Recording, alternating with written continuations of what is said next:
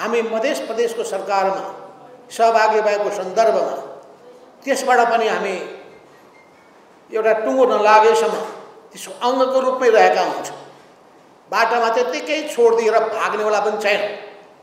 यस अर्थमा पनि त्यससँग के गर्ने भन्ने बारेमा एउटा बैठकको आयोजना भएको थियो।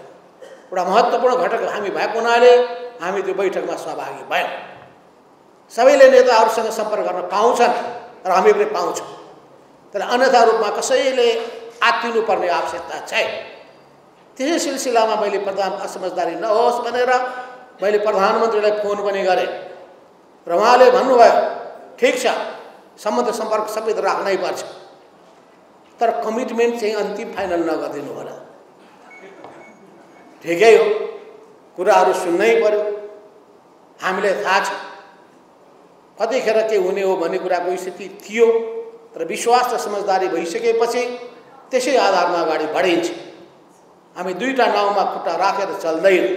अनेकौं असफल प्रयासलाई सफलतामा बदल्न र आइभीएफद्वारा आफ्नै सन्तान पाउन सम्भव छ। वात्सल्य नेचुरल आइभीएफ हामीले पहिलेदेखिको सरकारको निरन्तरतामा सामेल भएको मात्रै हो। संवाद भइरहेछ छलफल चलिरहेछ पार्टीहरूको बिचमा संवाद चाहिन्छ।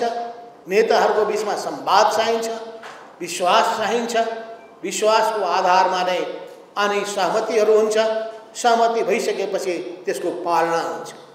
यस अर्थमा एउटा नयाँ सिलसिला फेरि चलिरहेको छ कुराकानी चलिरहेको छ। हाम्रो पार्टीले यसबारेमा के गर्नुपर्ने हो त्यसको अन्तिम निर्णय गर्न बाँकी छ। हाम्रो पार्टी संस्थागत ढङ्गले चल्छ। यस अर्थमा पनि यसको बैठकले नै के गर्नुपर्छ भन्ने कुराको टुङ्गो लगाउँछ। बाटा बाटामा हामीले टुङ्गो लगाउने कुरा आउँदैन। त्यस हुनाले पनि हामीले बुढानी कण्ठमा शेरबहादुरजीको निवासमा त्यही कुरा हामीले भन्यौँ। हाम्रो पार्टीको के फैसला हुन्छ त्यसको आधारमा हामीले चल्ने हो। हामीले त्यही हिसाबले अहिले केपी शर्मा ओलीजीलाई पनि पुष्पमल दाहाल प्रचण्डजीलाई पनि त्यही भन्यौँ कि हाम्रो पार्टीले के फैसला गर्छ त्यसको आधारमा हामी अगाडि बढ्छौँ।